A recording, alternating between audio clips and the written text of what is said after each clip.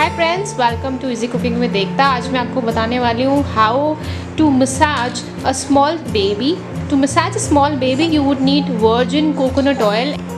baby massages are very easy virgin extra coconut oil से आप ये बेबी मसाज कर सकते हैं. And he is my little cute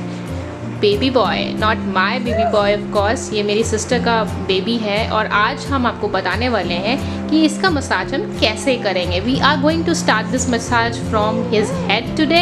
and then will move towards the later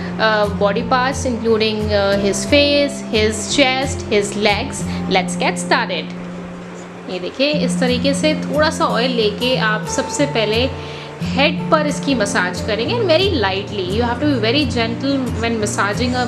baby this way a baby would become very strong massages really help in strengthening up the bones behind the ears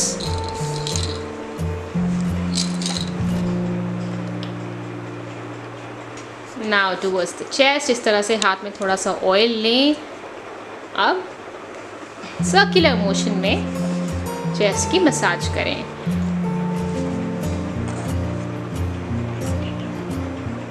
This really helps so massaging का एक और advantage है। It regulates the acids within the body so acidity regulator का भी ये काम करता है। बेबी के लिए बहुत ईजी होता है to ease out the body parts इसके लिए बहुत ईजी होता है to release the gases reflux won't happen to your babies if you are doing this massage daily and actually bone strengthening के साथ साथ जो आपका बेबी एक्टिव होता है that is also because of the massage that you do और ये देखिए, इस तरीके से पाम्स में भी सर्कुलर मोशन में आप मसाज करें। बिल्कुल लाइटली आपको करना है। पूरा का पूरा ये process now will move towards the legs and our baby is really happy in enjoying the massage time ये देखिए, इस तरीके से पैरों पर भी सर्कुलर मोशन में आप करते जाएँगे। पर अच्छे से सर्कुलर मोशन में। एंड इट्स ऑलमोस्ट टन उनको स्ट्रेंथन करने के लिए आपको बैकबोन के ऊपर सबसे ज़्यादा मसाज करने की रिक्वायरमेंट है। इस तरीके से आप बैक मसाज करेंगे।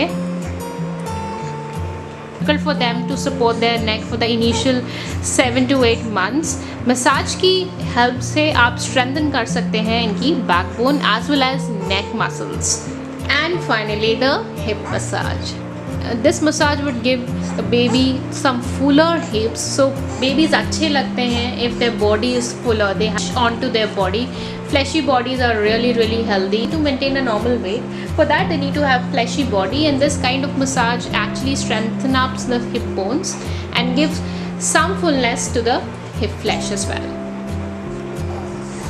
and finally ending up this massage a bit of head massage and finally we are done with massaging. We'll show you Rudra. This is our cute little boy